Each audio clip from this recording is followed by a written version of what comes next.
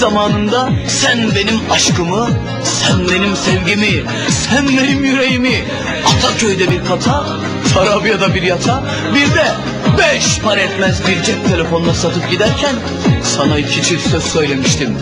Bir gün her ne pahasına olursa olsun ben de senin aşkının bedelini ödeyip satın alacağım demiştim. İşte o gün geldi çattı. Gözlerini iyice açtığında başucunda eflatun bir zat bulacaksın. Yine hatırla bir zamanlar sana ilk aşk mektubumu, sana ilk seni seviyorum diye eflatun zat içinde yazıp vermiştim. O zarf aldığında çığlıklarla haykırmış aşkım, canım, erkeğim demiştin. Şimdi ise açtığında gözlerin hal taşı gibi açılacak, yerinden çıkacak.